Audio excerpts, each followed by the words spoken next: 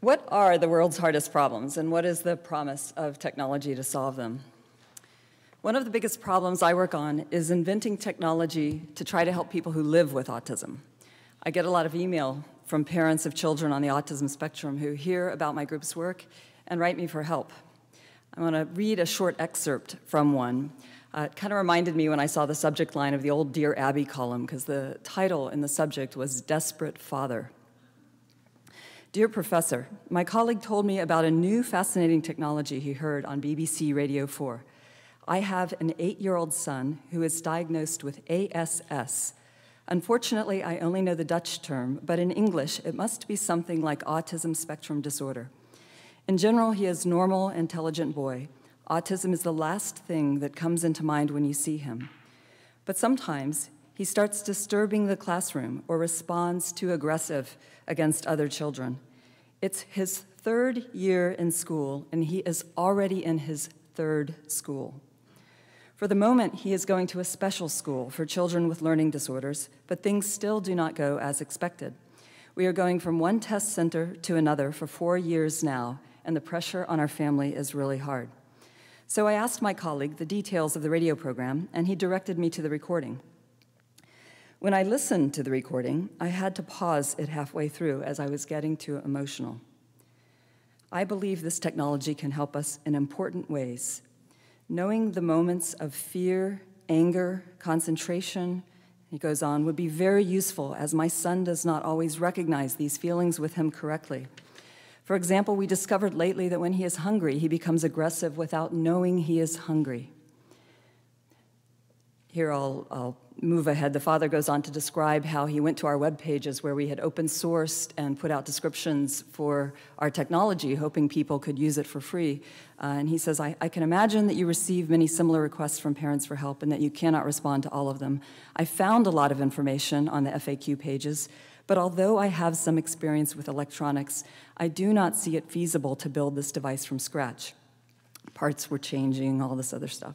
Is there any way for me to cooperate in a test program, or is there anything similar commercially available? We would really appreciate your help. Again, my son is an intelligent child, and this could be decisive for his school career. Who knows what contribution he can make back towards science in the future? Signed, Desperate Father. The technology we invented at MIT reads some of the emotional information this boy needs help with, um, and it has now become commercially available. I'm, I'm, wearing one version of part of it tonight, the um, Q sensor made by Affectiva. Um, full disclosure, I'm co-founder, chief scientist, chairman of the board.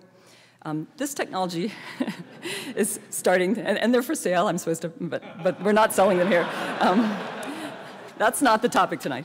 Okay, this technology, however, is starting to make a difference in people's lives. Uh, today, it's also enabling scientists and clinicians to do new research uh, in epilepsy to detect seizures and the intensity of the seizure, in PTSD, and helping uh, desensitize people with phobias, and helping people better understand anxiety disorders, and even in some new studies um, looking at what precedes cravings and the stress that may overcome people when they're struggling uh, through treatment with drug addiction. Years ago, here in Kresge, actually, we used a predecessor of this technology to measure audience responses. Instead of um, seeing these blinding lights and black behind them, um, I saw the audience light up with uh, the brightness of the LED when the signal that we're, when one of the main signals that we're measuring went up. It went up, in fact, every time there was a live demonstration and the audience glowed. And every time there was uh, live interaction, a live um, Q&A session, uh, the audience glowed. Uh, it went up with each new speaker, and it went up with laughter. Um, however, unfortunately, we also learned that it, uh, with every PowerPoint presentation, uh, it went down with a decaying exponential. This technology has great uses, whether for entertainment, um, for medical, lots of, lots of uses, but it does not save the world. What if, what if it were so good that it could completely eradicate a condition such as autism. It cannot do that. But if we could invent a technology to wipe out a serious condition, would we want to do that? One of the things I have learned from people on the autism spectrum is that we have to be very careful and humble when we think we know what is best especially when it involves another human life. We often fall short in our knowledge of what is best. For example, as I've gotten to know many people with autism, I have learned that many of them don't want to be cured of autism.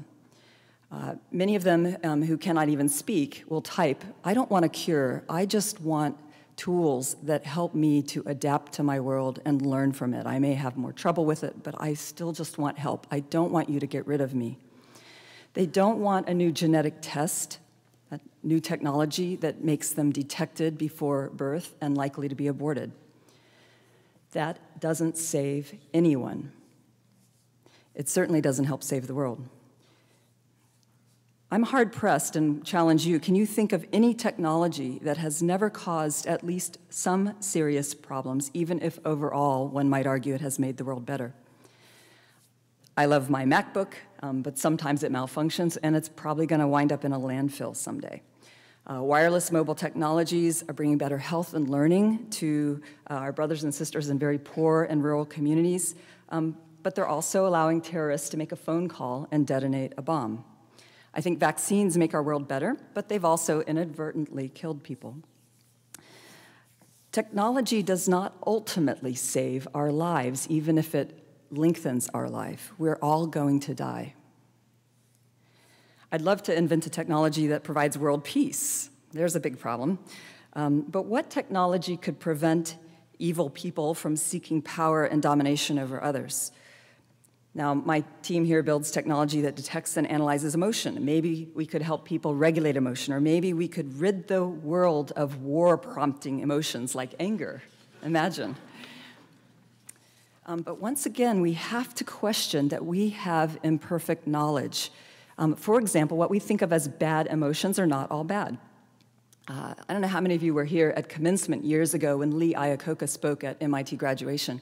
It was a really gorgeous sunny day. The grass was green, the sky was blue, the uh, students were so happy to finally be graduating, the parents were so happy to finally not have to pay bills.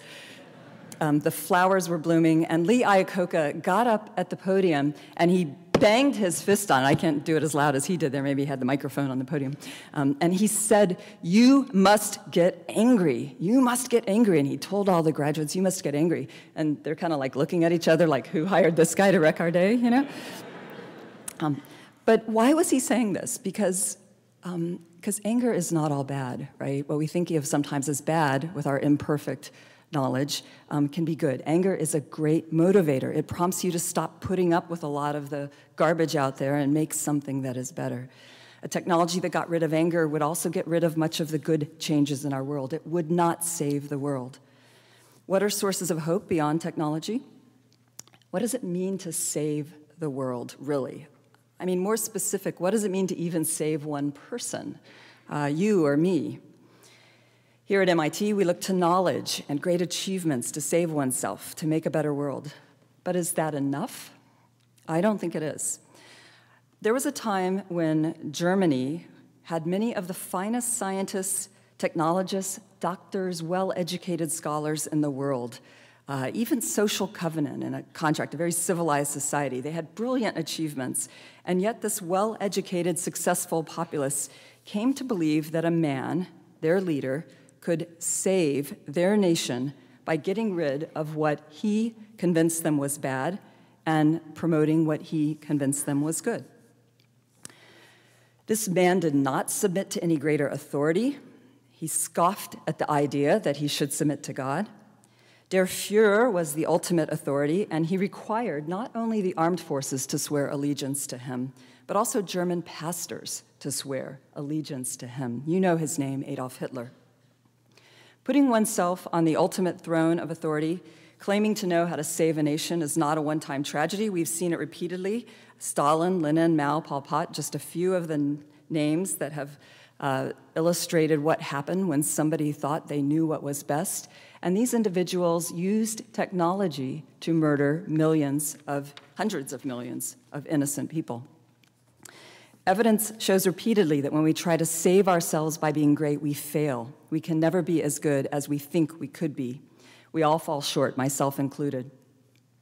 Like most students who come to MIT, I had straight A's, number one in high school, number two, Georgia Tech, um, 5.0 PhD, course six here at MIT, some of the best friends a person could ask for, dated the cutest guys on the football team, high school. Um, I'm blessed with loving parents. On the faculty at MIT, I made it from the bottom all the way through tenure and promotion as full professor. I have a husband who is also an MIT Course 6 alum. Uh, we met in the computer room on a Friday night, he reminded me. Um, you might want to go to one after this event. Uh, he, he is amazing, um, married to me for 23 years, deserving of great respect and admiration. We have three loving sons, truly the best boys on the planet. I'm not biased. Uh, um, in research, you know, I've received thousands of citations, um, hundreds of keynote invitations. It, gratified to know my work has helped other people. I, I feel, you know, enormously blessed by much of this, and it brings me great joy. But you know what? Um, all of this, this worldly success, it pales completely in comparison to the greatest thing in my life.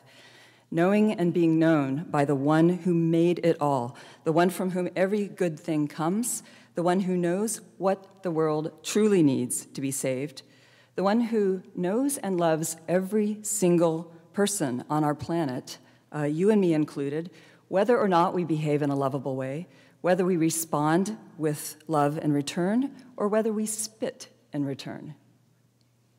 None of my achievements, none of the generous gifts I've been given, even begin to compare with experiencing the abundant peace, mercy, grace, joy, healing, strength, and more when we but open our hands to receive these gifts. That gift giver, I believe, is the greatest hope and saving influence. Don't get me wrong, I still fall short, but my life is so much improved, so much more abundant, filled with peace for having taken myself off the throne of thinking what is best that I could know and make those perfect decisions. You can experience this too, uh, but you would also have to be willing to put one in charge of your life who knows how to run it better than you do. To conclude, I want to build great technology to help our world, and I want to give of whatever I have to help people in need, whether they have autism, epilepsy, a lack of ability to speak, or some other challenge that we might invent new technology to help. I delight in this work. But an even greater delight, um, the deepest I have ever experienced, is a knowing and being known by the ultimate source of all knowledge, power, mercy, strength, and goodness. This is the knowledge of the one who loves every person on the planet, the one who truly saves the world. Thank you.